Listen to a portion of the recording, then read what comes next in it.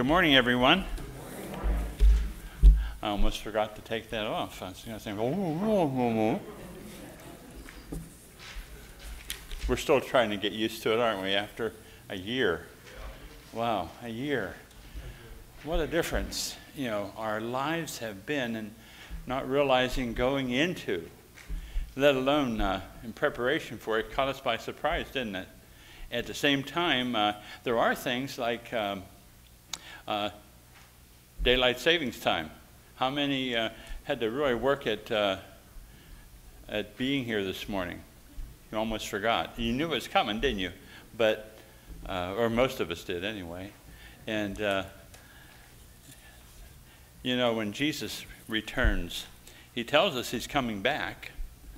And yet, many, many, many will be caught off guard. And uh, we need to, as we think of Lent, it's a time of that spiritual preparation from Ash Wednesday to, to Easter. It's that time of spiritual preparation, of, of planning and preparing, but also examining that, uh, that we are where we need to be. We are on the right path, and we thank God for that. And um, uh, I think of a few verses that, that helps to prepare for that time. One is, um, uh, Thy word have I hid in my heart that I what? That I might not, yeah, right, sin against God. Or um, as I think of uh, Psalm 139, uh, verses 23 and 24, it says, Search me, O God, and know my heart. Uh, test me, examine me, try me, and know my anxious thoughts, and see if there's any offensive or wicked way in me, and lead me to the way everlasting. You know, that whole idea of preparation, because Jesus is coming back. And uh, uh, we know, uh, I think what's always interesting at times of these change, uh, changing of the time, that one hour, how many people will be coming in at a, at a different time, you know. And uh, I was looking at the earlier service to see if there was anyone uh, coming at the end, you know, at the end of the service, but them coming at the beginning uh, of uh, thinking it was the beginning of the, next, the uh, early service. But we're here. We want to welcome those who are online also, uh, who are uh, part of the worship service this morning, that we would all be blessed together as we lift up the name of Jesus. And we praise God for that. At this time, would you, uh, would you stand with me that we might have a word of prayer and then our opening song? This is the day that the Lord has made. We will rejoice and be glad in it. And we have every reason to be rejoicing. Now, we have all kinds of things in our different ones here. There are some good things that's happening in our lives, but at the same time, there are a lot of difficult things and, and times of stress and strain, and, and there's sickness, and there's also grieving, and, and just a lot of celebrations and also difficulties that we want to. Um, we want to come, and the Lord says, Welcome, welcome. I know where you're at. I want to help you. I want to give you that which you need. Please open your mind and your heart and your ears, and your lives to what I have to share with you, so that you might leave here from here this morning feeling encouraged, feeling, uh, knowing that you're loved. And as this sign, little thing here says, Oh, how he loves us. You know, He loves us so dearly, doesn't He? He cares about us, and He wants to meet us right where we're at, and He wants us to lay our burdens on Him and allow Him to renew us and encourage us and rejuvenate our lives. Let's, let's pray. Father in heaven, thank you. Thank you for your invitation to come. Come unto you, O Lord. You welcome us. We who are weary, we who are. Uh, overloaded, overburdened, and you want to give us your rest. And oh Lord, and there are those who are, are excited and, and things are going so smoothly, and we come to say thank you and celebrate that as well. But we come, come as we are, and we lay ourselves before you, oh Lord, and may we allow you to put your arms around us and encourage us and celebrate with us your presence and your peace. We ask and pray your blessing upon this worship service. We ask and pray this time of Lent, O oh Lord, as we do continue to prepare ourselves uh, for you and allow you to be what you desire to be in our lives. And we thank you and praise you and ask your blessing upon this time of worship. In the name of Christ, amen. Join with us as we sing. Open our eyes, Lord.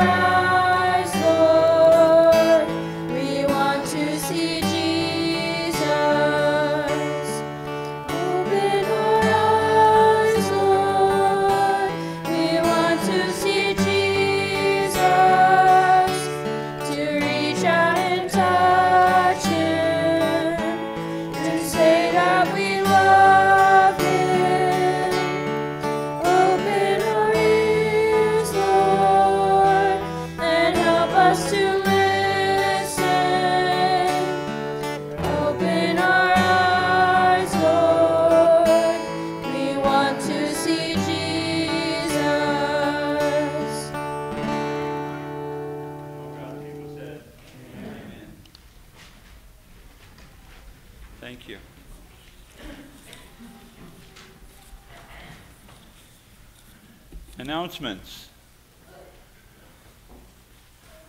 Good morning, folks.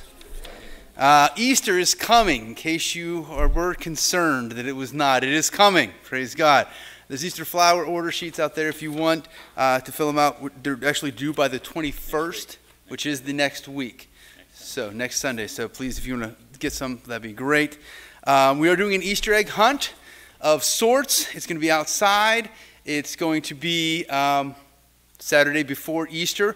Uh, we're going to make it shorter from about 10 to about 10:45, 11 o'clock. Uh, we have several different stations we'll be hooked up. We'll have asking everyone to park in the upper parking lots. We can have the tables down there.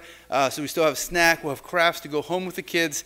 We have a lot of Easter eggs. We like to fill them with candy. So if you have some candy that is not open and half eaten, we love, and you happen to find some at the store, you'd like to bring some in, we'd love to be able to do that. Uh, it's a great opportunity. The kids will be doing a story time, we'll be doing the egg hunting, and we'll be doing a, a snack. Um, and we'll have uh, some snacks and stuff for parents as well. But a great opportunity for us to continue to reach out into the community and uh, continue to be the church that, that God has called us to be. Uh, is coming up as well. So if you are interested, though, it is because we're doing it a little bit differently, we need a lot of hands. And so, if you'd like to be one of those hands on deck, uh, we'd love to have you know a little bit more about how to do that. Um, we'll have, like, for instance, the, the, the smaller children will just be over here the whole time. So, we're going to need some people that can stand there and say, Hey, we're glad you're here. Hey, look, let's find some eggs. Here's a snack. We need some people that are willing to do that. And so if you're willing to help us with that, or even just hiding Easter eggs uh, up here for the older kids, that'd be great as well. So uh, again, it's going to be uh, on Saturday, April 3rd, from about uh, 10 to, like, we'll be done by about 11. So not looking for a huge commitment. Come a little bit early. Uh, but if you can't come, please let me know so we can get you connected with where uh, we can be with that. Um, we also do have newsletters. I think most of you should have already gotten them or, or should be got got in the mail. Um, but uh, it's great information. If you didn't grab one and say, man, you know, I I have a friend that wanted to have one too. There's uh, in the back there, you can grab one of the copies. Uh, it is two pages, so there's lots of good information there, uh, including birthdays and anniversaries. And so uh, Chuck and Don are celebrating one on Wednesday. How many years? 48. 48 years. So congratulations to you guys. And, uh, and something that we, um, we, we, started doing this, uh, last week was we're going to start uh, people with, with anniversaries, um, doesn't matter how many years, uh, we like to try to celebrate you guys. And so uh, there'll be some flowers uh, in the back for, for you guys to grab on your way out. Um, if, do not worry, you say, oh, my anniversary was in January, I have to wait a whole year for flowers. that's okay. There's some weeks where we don't have any anniversaries, so I'll be picking up on those people and, and trying to highlight them in, in marriage as well. So, uh, but of course, if you're not here, then I just give them to random people. And So- if you don't know, And if I don't know that you have an anniversary, if it's not on the official sheet, then I cannot give you flowers either. So please make sure if you know someone's anniversary coming up and say, hey, just make sure you know about this, please tell me. And, uh, and I, we'd love to be on top of that to make sure that we can honor and celebrate uh, all that God's done there. Um, there is uh, weekly, uh, or sorry, daily uh, 2 a.m. devotion kind of things, and there's uh, Sunday school that, that I just posted this morning, and there's Wednesday night Bible, or sorry, Monday night Bible study tomorrow night, uh, 6:30 for those that are interested in coming out or tuning in online, and just great opportunities also for kids. So, thank you so much for being here.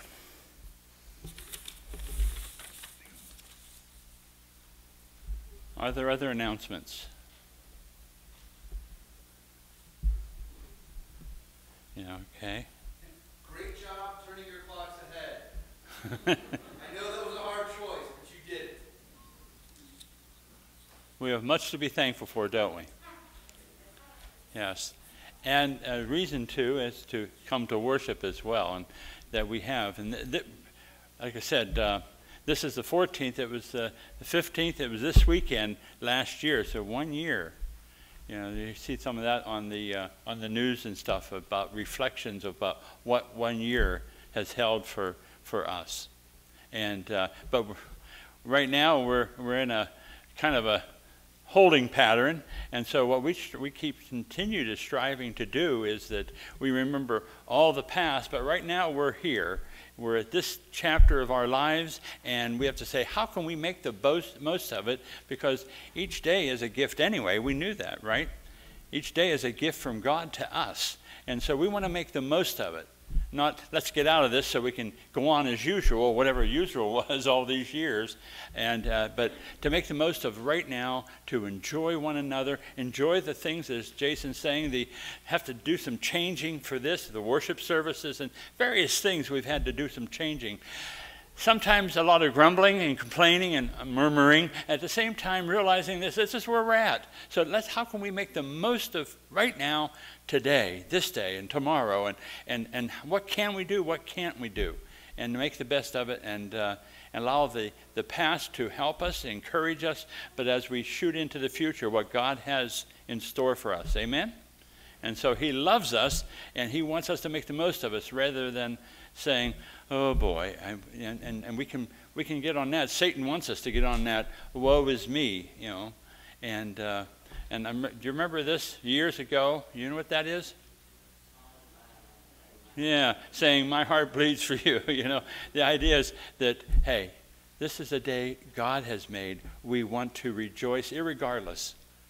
You know, do not be anxious. Isn't that what Paul says in Philippians 4?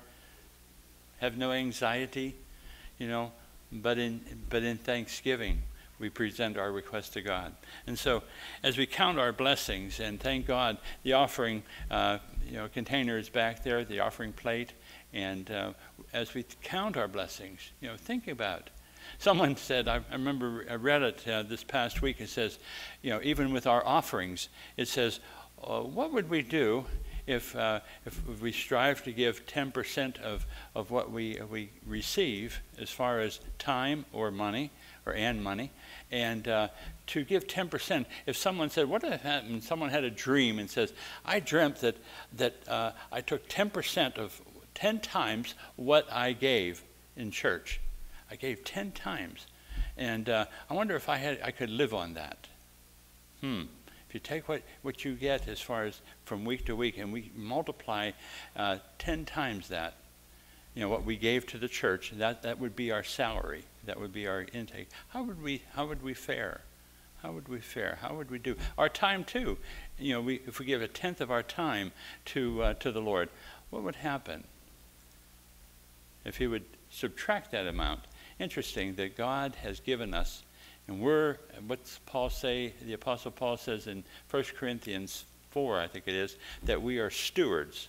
We are managers of all that He has entrusted into our care because it's not really ours if we belong to Jesus. Amen? Yeah, it's all His. And so, as we think of the offering, we want to offer unto God ourselves, but also our, our time and our, our tithes and offerings. Let's pray. Father in heaven, we thank you and praise you, dear God, for as we count our blessings, oh Lord, there are just so many, so many. The good times, the difficult times, people we are really, our hearts are, are really heavy for because they're going through some very difficult times physically and also many spiritually. Oh Lord, we thank you for your presence, your peace, your joy that you want to in the midst of that. The Apostle Paul says, In everything give thanks. And he also says, uh, Rejoice in the Lord always. I'll say it again, rejoice.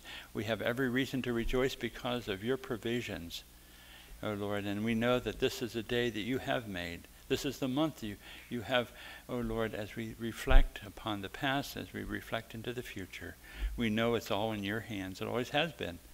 And uh, the more we put ourselves in your hands as well, the most we will, we will be able to get out of what you have for us. We ask and pray your blessing upon us as we give unto you our, our um, ourselves, as we give unto you our tithes, our offerings, as we give unto you our time. As may we lift it up, not because begrudgingly or have to, but because we desire to, because we love you and we thank you for all the special people you put in our lives as well, O oh Lord. But bless this time of offering, we pray, that we give unto you this day. And may we, O oh Lord, receive, O oh Lord, the direction from your hand of grace. In Jesus' name, amen. At this time, we have the children's story. If the children would come forward.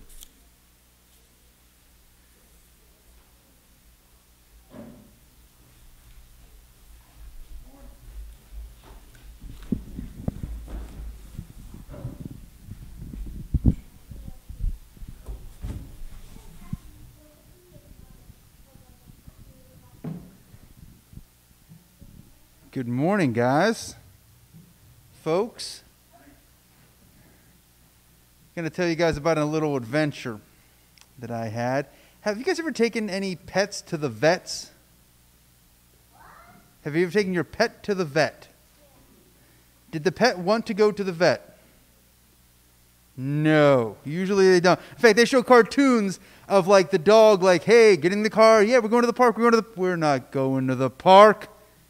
Where are we going? Where are we going? And there's this idea. Well, I was helping uh, some friends. They, they had they, uh, the, these two like granddaughters were moving their grand. They had watched their grandma had watched their cat. Okay, and so they were taking the cat from the grandma's house back to their house. Now, obviously, the cat did fine in the car getting to grandma's house. Grandma lived in Westmont. They lived in Geistown. They said, Our mom can't do it though. Can you help us? And I said, Oh, sure. Thinking that the cat would be in a cat, like a cat little cage kind of thing. They said, Oh, no. The cat does great in the car. It'll just sit on our lap. I said, Huh. This seems like an odd thing. It did fine coming down. It'll be fine. It's with us. It's our cat. It loves us. Don't worry about it.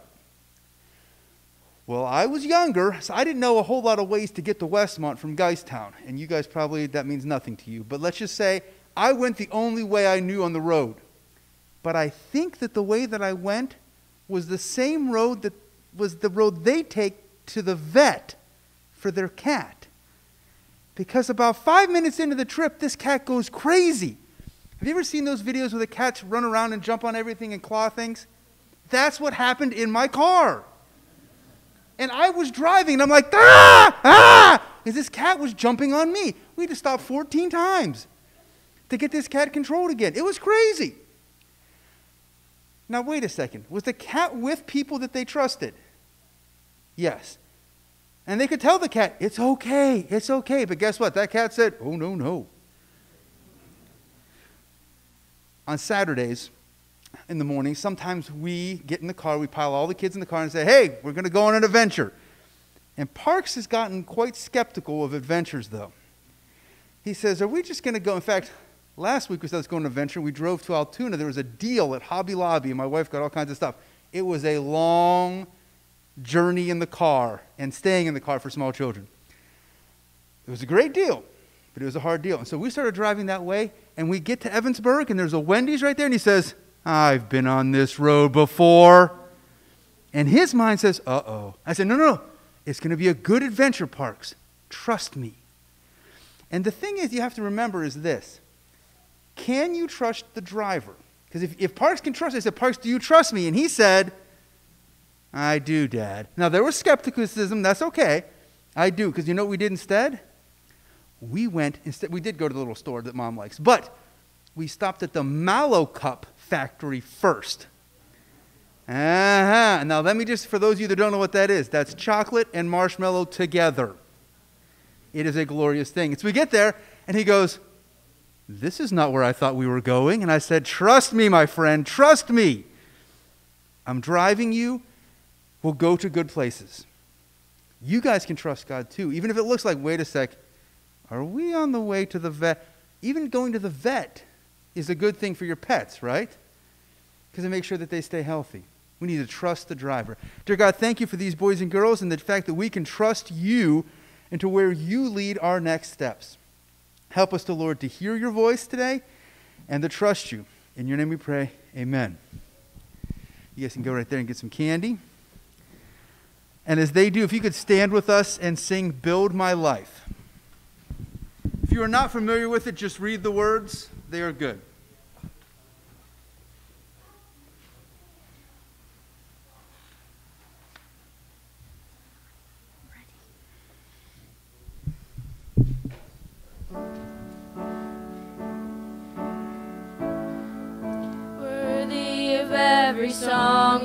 Ever sing. Worthy of all the praise we could ever bring. Worthy of every breath we could ever breathe. We live for you.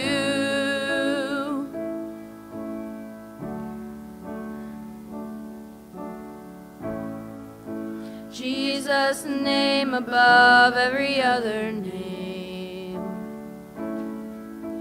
Jesus, the only one we could ever save. Worthy of every breath we could ever breathe, we live for you.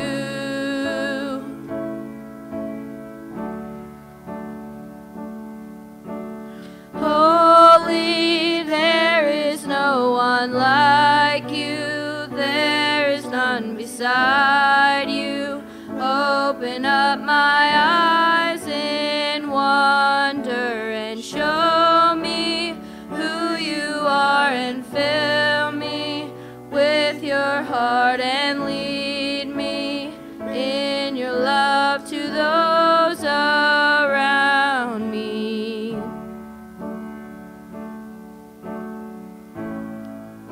Jesus, the name above every other name. Jesus, the only one who could ever save. Worthy of every breath we could ever breathe, we live for you. Oh, we live for you. Holy, there is no one like you, there is none beside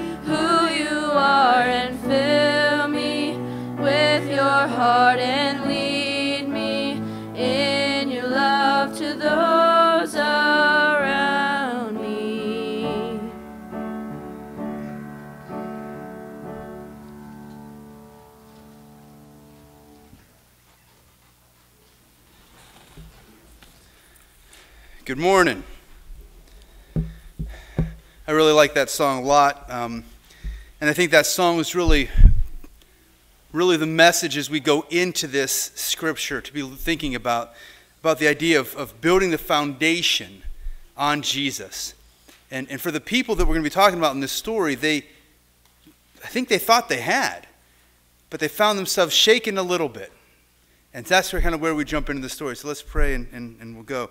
Dear God, I thank you so much for the opportunities we have to look at your word. I thank you that your word is what brings life and hope and healing. I thank you, God, that, that you are one who cares about us. Uh, that he who began a good work will carry it on to the day of completion, dear Lord. Praise God that you will. And we ask God that as we look at these two guys, Cleopas and the friend, that, that you help us as, as we might feel like we're in that same spot.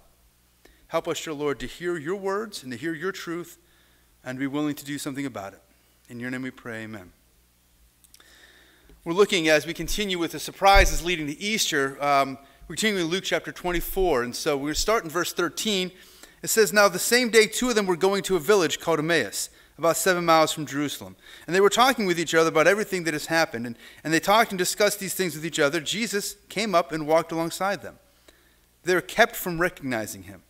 He said to them, What are you discussing together as you walk along? They stood still, faces, their faces downcast. One of them, named Cleopas, asked him, Are you the only one visiting Jerusalem that does not know the things that have happened here in these last days? What things? he asked.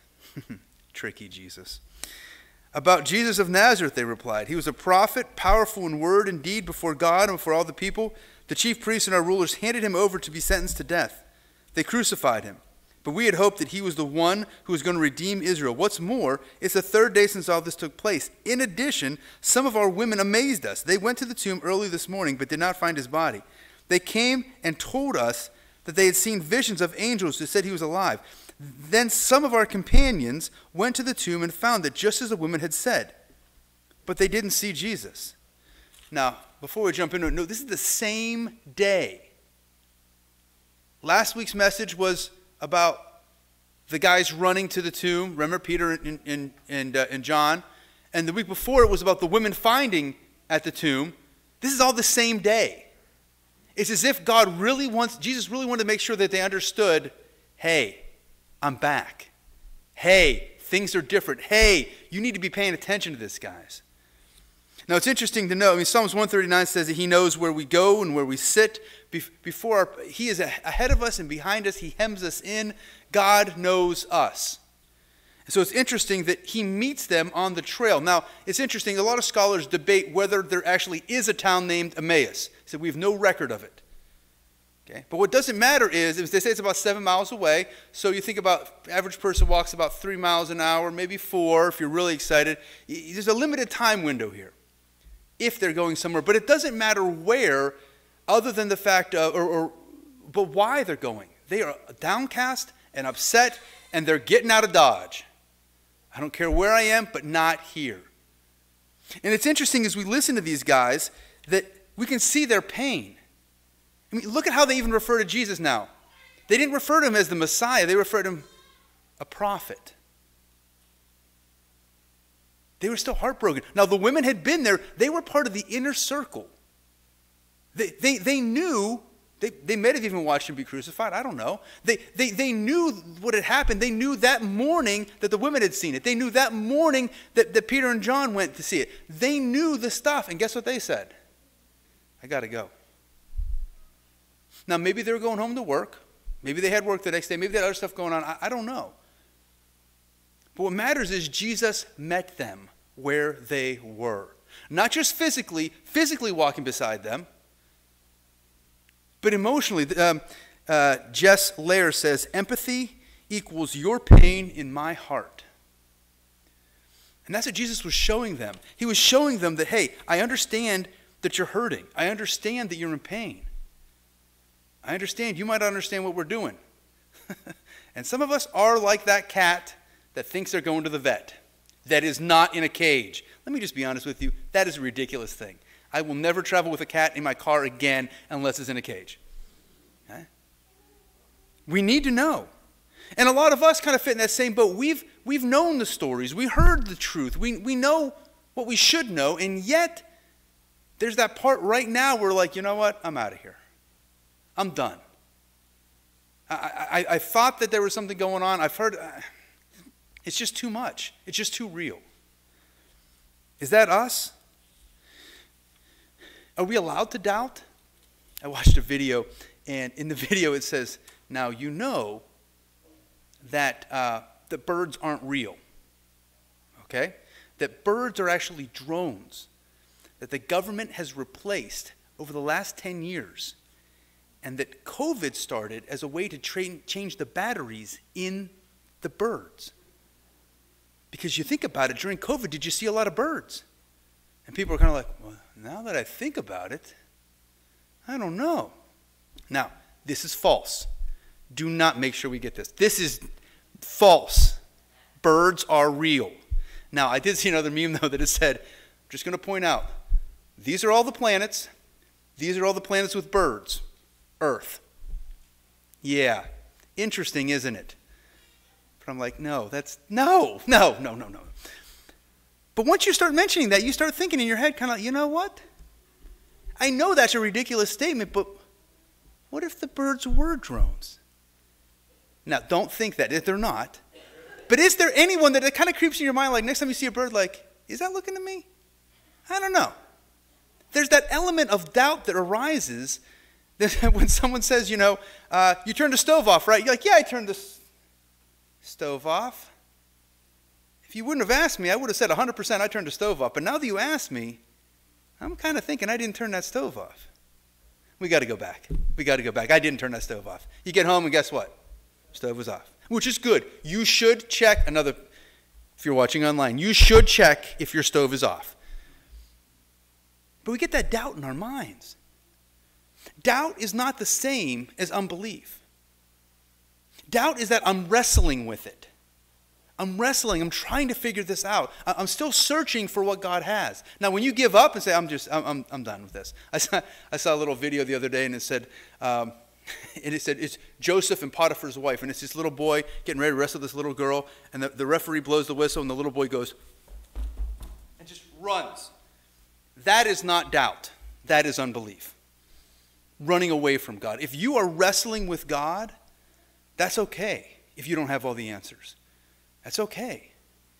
It's okay for us to wrestle with God about things that, things that matter here and say, God, I, I, I want to know more. Because the thing is, if you keep searching for the truth, you're going to find Jesus. If you keep searching for the truth, you're going to find Jesus. Now, if you're not searching for the truth, if you're searching for your answers, well, then you're on your own. Because the second point says this you, as you look at this, the first one was Jesus meets them where they are. The second point is Jesus shows them, uses Scripture to show them the truth. Listen to verses 25 to 27 here. He said to them, How foolish you are, and how slow to believe all that the prophets have spoken. Did not the Messiah have to suffer these things and then enter his glory? And beginning with Moses and then all the prophets, he, ex- he explained to them what was said in the scriptures concerning himself. Yet again, Jesus uses scripture. It's as if it's important or something, right? In Luke 16 31, Jesus is telling the story about the rich man and Lazarus and how Lazarus uh, ends up in hell, and he's like, hey, someone has to go warn my brothers. And this is what Jesus said uh, in, in the parable in Luke 16 31. If they don't listen to Moses and the prophets, they will not be persuaded, even if someone raises from the dead, rises from the dead. He said this in the beginning. And here they are, because Jesus is not going to be with them. It's interesting, you know, you look and say, man, you know, um, the quote I have if God's word is, Jesus used, uh, where's my quote at? When they recognized until he fellowship with him was not going to depend on their ability to see him, rather their ability to take him at his word. So Jesus didn't say, I'm just going to give you like a little keepsake here of me and our time together here.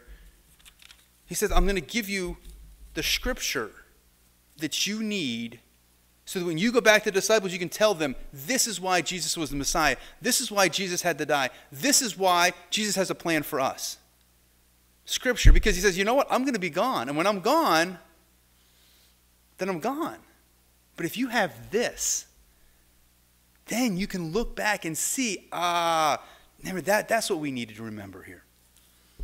So Jesus walks them through verse by verse, and it's not a waste of time because you think, wow, so Jesus, you're going to show them all these verses. Like, that's really long. Or, hey, why don't you show us those verses, Jesus? Then we can use that. We'll make little pamphlets, we'll pass them out. It'd be great. Jesus doesn't do that, though, does he? But he shows us that his word is the part that's invaluable. A couple quotes here. The first one says Charles Spurgeon Nobody ever outgrows Scripture. The book widens and deepens with our years. Is God's word widening and deepening for you? Uh, Eliza Turkic, Turkhurst, maybe I said that right this time, said, When the world beats you down, open up your Bible. Elisabeth Elliot says, The Word of God I think of as a straight edge, which shows our own crookedness. We can't really tell how crooked our thinking is until we line it up with the straight edge of Scripture. If we don't open up His Word, though, we don't actually get to see how it is or not. Helen Keller says, Unless we're in the habit of going to the Bible in the bright moments as well as the trouble, we cannot fully respond to its consolations because we lack the equilibrium between light and dark. It's not just the bad times that we need to go finding a verse of Scripture. It's the good times too. Remember to rejoice with those who rejoice and mourn with those who mourn. The Bible is, uh, Soren Kierkegaard says this The Bible is very easy to understand, but we as Christians are a bunch of scheming swindlers. We pretend to be unable to understand it because we know very well that the minute we understand, we are obliged to act accordingly. I have had students tell me, Don't tell me the rules, then I don't know that I'm breaking them. That's not the. No. August, Augustine of Hippo says the scripture, the Holy Scriptures are our letter from home. Our letter from home. I remember going to camp as a kid, and we get there, and like on Tuesday, I already had a letter from mom and dad, and I'm like, this is amazing! I've been gone a day. How did this happen? Well, what happened was they knew I was going to camp because they were taking me to camp, and they put it in the mail so that when I got there, I would remember how much they love me and what, how they thought about me. It's as if God wants us to know what he thinks about us and where we are. And finally, John Wesley says, I want to know one thing the way to heaven, how to, how to land safely on that happy shore. God Himself has condescended, uh, yeah, condescended to teach us the way. For the this very end, He came from heaven. And He has written it down in a book. Oh, give me that book. At any price, give me the book of God. I have it. Here is the knowledge enough for me. Let me be a man of one book. How can we be people of the Bible? in this world that needs it so much. Uh, 1 Timothy 3:16 says all scripture is useful for teaching, correcting, rebuking and training in righteousness, so that the person of God can be thoroughly equipped for every good work. God desires for us to be able to use this to be ready for what God has for us. Psalms 119:11 says, "I've hidden your word in my heart that I might not sin against God." Psalms 119, 105, the, Thy word is a lamp unto my feet and a light unto my path. God wants for us to be able to see what the next step is. He wants to walk with us until He reveals that as well. Because that's the third thing here. When the time was right, Jesus revealed it, right? Not beforehand. In fact, in verse 28, it says this As they approached the village to which they were going, Jesus continued on as if he was going farther. But they urged him strongly, Stay with us, for it's nearly evening. The day is almost over. So he went to stay with them. And when he was at the table with them, he took the bread, giving thanks, broke it, and began to give it to them. Then their eyes were opened, and they recognized him as he disappeared from their sight. And they asked each other, Were not our hearts burning within us when he talked to us on the road and opened the scriptures to us? And they got up and returned at once to Jerusalem, where they found the eleven and those with them assembled together, saying, It's true, it is true, the Lord has risen and appeared to Simon. Then, then the two told what had happened on the way and how they recognized Jesus when they broke the bread, when he broke the bread. Our timing is not God's. I am sure that if they had the choice, Jesus would have revealed himself from the very beginning. Parks was showing, uh, we were showing pictures, and Parks had found these like fake glasses. They're just the rims, they're just black rims, and he put it on, took a picture of him. He's looking all kind of smug, and we are showing Grammy. He goes, Grammy, Pappy, don't be tricked. It's me. And we think sometimes we are disguising things, and, and, and yet God says, in my timing, I'm revealed that I've been with you the whole time. I've been here. Not just hiding in the background, here with you. To be encouraged, you know, the, and the lesson was finished. He taught them what they needed to hear. He challenged them to think. He met them where they were. He refilled their spiritual cups. He ate with them. And here we are. Here they are. Now, what do we do next? God knew. He goes, I'm gone because I don't want this to be about when I'm with you, you do. I'm not here. I'm not going to be here. I need for you to remember what we talked about. So I'm laying out all the stuff here in Scripture, these evidences, so that when I'm gone, you know. You can be reassured. You can be comforted. Because he saw where they were emotionally, they were broken. And a lot of times we get there ourselves. We look and say, Man, God, where are you? We have to know that God has plans for us. And plans not just for us, but to work through us. By God, in, by Jesus investing in those guys, the scripture, they went and told the rest of the crew, right? And Jesus appears to the rest of the crew later, but they already had that knowledge like, Jesus is alive. And so I want you to think for a sec. Um, the challenge. It's threefold. The first one is um, Are you needing Jesus to reveal himself right now? Are you in that spot of saying, God, I just, I need something here? I'm walking away from, I'm, I'm hurt, I'm, I'm sad. I thought I knew, but here we are. Is that you? Needing to remember who's driving the, the car? Or, number two, are you the person who needs to be walking beside someone who's walking out of town? There's a, a ministry called uh, the, uh, uh, an Emmaus Walk. And what they do is, uh, there's a, gentleman that I was good friends with down in North Carolina, and, and he is part of his church's ministry. They would do this every year, and they would get uh, a couple people that would come with them. And on this walk, I think it's about seven miles long, is what they did, they would share their testimony with the people that they were walking beside as a way of saying, as we go on this walk, I just want you to know who I am, what I have been through, what God has done in my life, how He has gained victory. I want you to, I want you to see this and understand. Because that testimony that God has put in your heart is something that is not just for you. What He did for, for Cleopas and the friend wasn't just for them, it was for the greater community, for the greater good. I mean, we, we put the neosporin and, and, and band aid on our finger when we cut it, not just for the finger, but for the rest of our body to feel better about our finger, right? It's if one part is in pain, then we're all in pain. If one part's recovered, then we're all feeling better about it. If you're not sure about that, next time you get a little paper cut, just, hmm. And the third thing is this you know, how, how are we hiding God's word in our heart? I, put, I printed off some scriptures out in the back. Um, I, I want to challenge you. It's, it's still Lent. It's, it's uh, better late than never, we shall say. But I want to challenge you. Memorize something. Memorize a verse a week. I make my students memorize three. You know how I have them do it? I have them write it down on Monday, three times each. Write down the verses three times. You know what we do on Tuesday? Write down the verses three times each. You know what we do on Wednesday? Write down the verses three times each. Thursday we have chapel. Friday the verses due. Now, not all of it doesn't help everyone. Some people need to read it out loud. I, I get that. But my challenge for you is find some verses to be able to memorize before Easter. Whether it be a verse a day, I'm just going to read one verse five times a day. Great. You putting your God's, God's word in your heart, God's word does not come back void, is what the Bible says. So I printed off some sheets in the back if you want to take one. If you say, no, I have my own, that's great, as long as somehow you're going to remember. Because we are called to be people of one book, as John Wesley said. How are we putting this in our lives? The last song um, we're going to sing here is, is Hills and Valleys. And I'll be honest with you, on the way to church today, God kind of hit me upside the head and said, this is the song you should have sang. So I'm going to read you the lyrics to the song that you should go home and look up. Okay? This song fits great.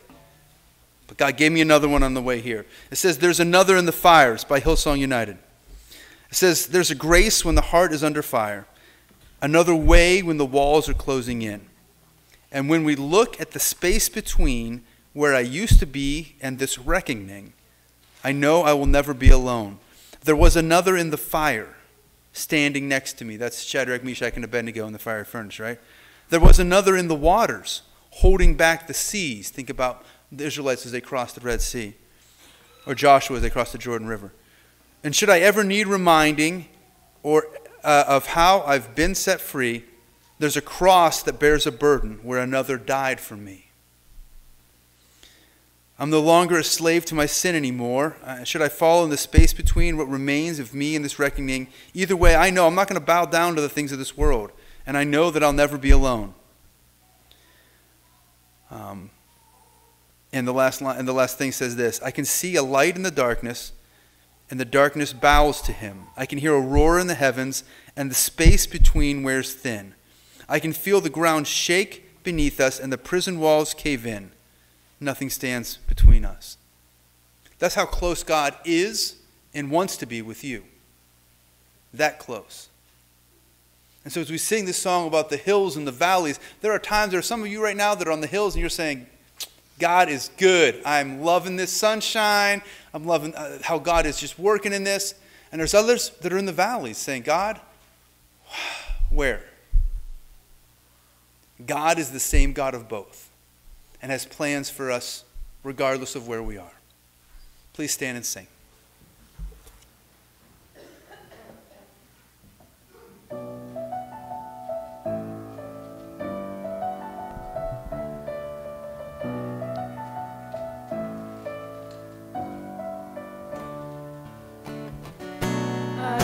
Walked among the shadows, you wiped my tears away. And I've felt the pain of heartbreak, and I've seen the brighter days.